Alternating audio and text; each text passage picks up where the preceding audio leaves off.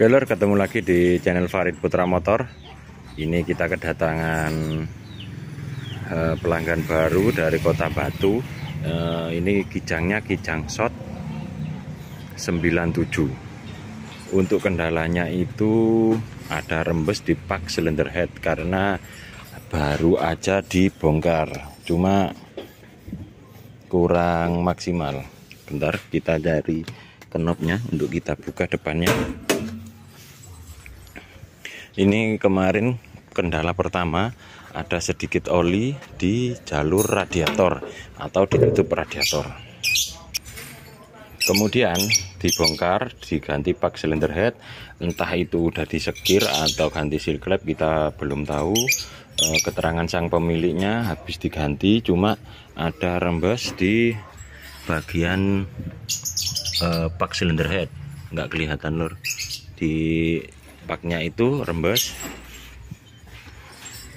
Kelihatan kalau kita teliti. Nah ini kelihatan. Dan untuk mobil ini eh, nggak ada termostatnya.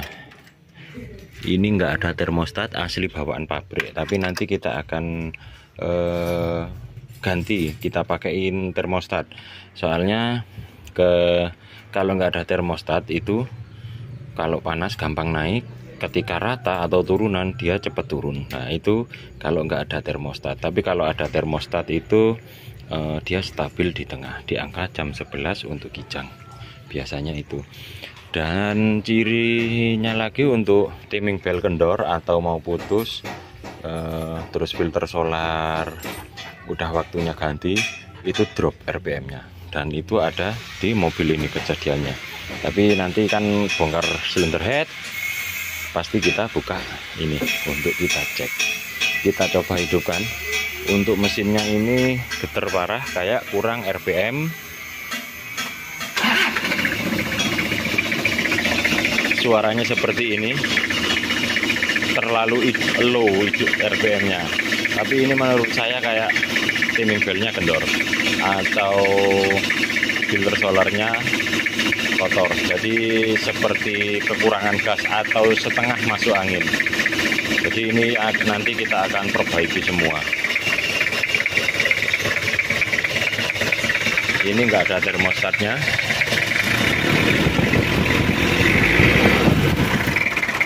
nah kalau enggak ada termostatnya gitu.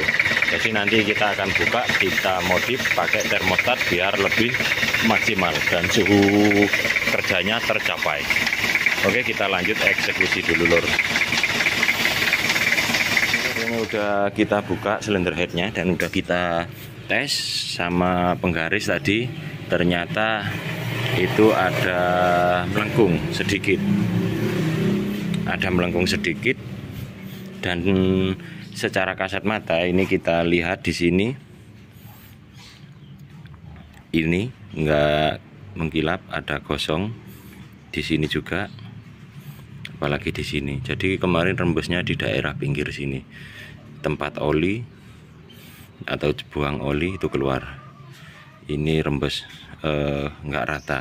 Dan silinder head ini masih ori belum sekerapan jadi ini tadi kita cek nggak ada eh, nggak rata jadi kita harus scrapkan ini. Dan untuk overall untuk semuanya masih normal jadi kita cuma scrap ratakan aja. Dan nanti kita mainnya di packing pak silinder headnya. Oke ini kita bawa ke tukang silinder kop dulu atau tukang bubutnya? Untuk silinder headnya udah kita scrap udah kita setting kita ganti seal clap juga udah uh, proses udah perbaikan semua. Ini tinggal kita pasang ya lor dan ini hasilnya untuk hasilnya uh, dari servisan dan sekrapan nah ini udah kita balik. Nah, ini udah kita scrap klepnya masih orisinil semua. Jadi ini udah sip dan udah beres. Tinggal kita pasang untuk pak silinder headnya kita menggunakan merek ITE ini adalah pak cylinder headnya tinggal kita pasang. Ini kita menggunakan yang mode plat. Nah ini. Plat tiga layer yang tengah tebal.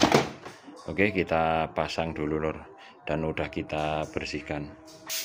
Nah ini untuk bloknya udah kita bersihkan. Nanti ini tinggal kita pasang. Untuk linernya nggak begitu kalah. Masih lumayan bagus. Masih ukuran standar. Gradernya udah kita bersihkan tinggal kita pasang. Kita proses lagi lor kita lanjutkan. Oke ya lor ini kita cek kemarin nozzle-nya. Eh, nggak bisa kita setel. Terus ada kendala di ini untuk rumahnya ini udah kalah udah nggak rata. Kemakan kompresi karena ring kuningannya itu nggak bagus atau kemakan jadi rumahnya termakan. Rumah ini maksudnya rumah nozzle-nya ini udah kita ganti untuk keempat-empatnya sama nozzle-nya juga kita pakai ori. Kalau ori itu warnanya beda terus tulisannya denso gini kalau enggak ori biru terlalu biru terus ada tulisan kotak ND nya ND denso tapi enggak kayak gini. Ini udah kita setting di angka 140 nah.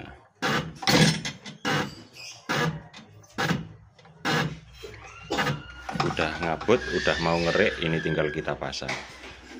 Soalnya biar sekalian maksimal. Oke kita lanjut pemasangan dulu oke mesinnya udah kita angkat deh sorry. Silinder headnya udah kita tata udah kita pasang tinggal pemasangan untuk termostat dan nozzle. Nozzlenya ini ada kendala. Ini ada ringnya yang ini dan yang ini tidak. Dan rumahnya itu kemakan lur. Nah itu. Jadi, untuk rumahnya kemakan. Fokus fokus ya. Nah itu rumahnya kemakan untuk yang nomor 3 dan nomor 4 nah, jadi harus kita tata ulang. Dan untuk ini termostatnya buntu. Ini udah kita bor. Mau kita kasih termostat biar tenaganya maksimal dan temperaturnya normal. Biar nggak naik turun. Oke kita pasang dulu.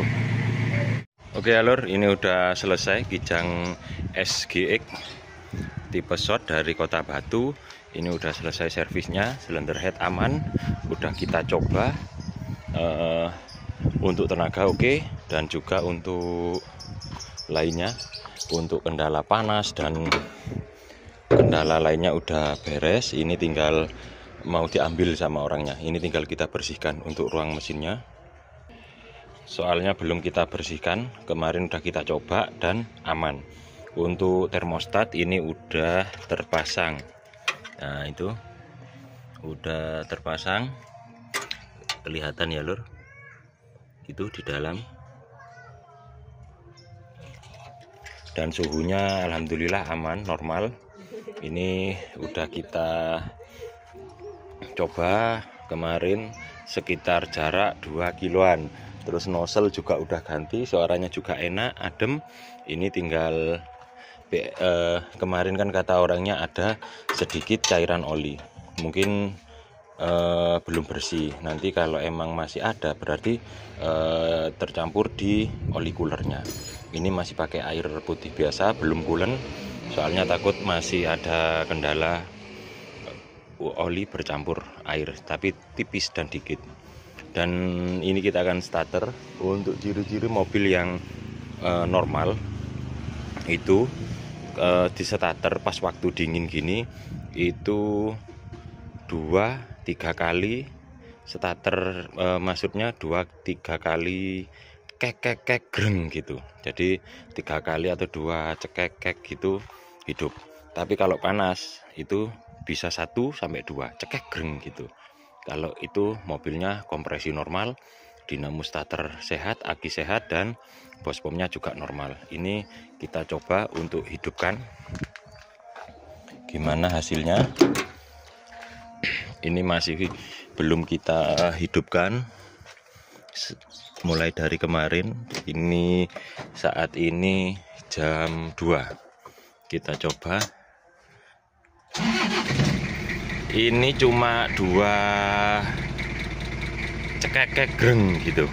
Jadi dua kek uh, udah hidup dan mesinnya alhamdulillah normal. Untuk ini RPM nya masih belum kita perbaiki. Uh, kita masih belum sanggup untuk memperbaiki karena waktu dan banyak jam mepetnya di sini dan kerjaan banyak di, kita kejar waktu. Kalau sama orangnya juga mau diambil. Jadi belum timingnya belum pas orangnya terburu-buru kita juga banyak kerjaan. Jadi nggak bisa uh, untuk uh, melakukan perbaikan di Sepido. Dan ini adalah suaranya untuk bidang diesel.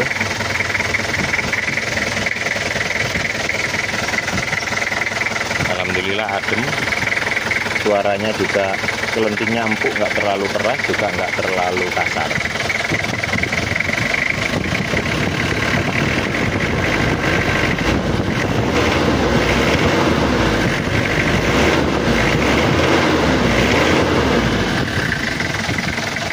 Alhamdulillah aman. Kita coba cek untuk asap. Biasanya itu kalau dingin eh, meskipun diesel keluar uap atau embun. Kalau bensin itu keluarnya banyak dan kalau digas juga keluar. Tapi kalau solar nggak kelihatan karena pembakarannya lebih tinggi untuk temperatur dan juga kalah dengan asapnya. Kalau ini nggak ada masih uapnya belum ada mungkin masih kurang panas. Karena baru aja hidup. Dan untuk asap alhamdulillah tipis sudah nggak berasap dan normal. Ini udah siap untuk test drive biar di test drive orangnya. Untuk kekurangan dan e, kendala yang belum kita tahu biar nanti dirasakan orangnya dan kita sharing-sharing lewat WA jadi biar e, sesama pemilik dan customer punya hubungan saling berkelanjutan. Karena kalau menurut saya rezeki itu udah ada yang ngatur yang penting kita pelayannya oke dan uh, bagus. Untuk rezeki pasti ada sudah ada yang ngatur. Oke lor cukup segitu dulu video dari saya. Jangan lupa like dan subscribe di channel Farid Putra Motor untuk nomor kontak dan alamat ada di deskripsi. Kritikan saran dan pertanyaan silahkan tulis di kolom komentar. Terima kasih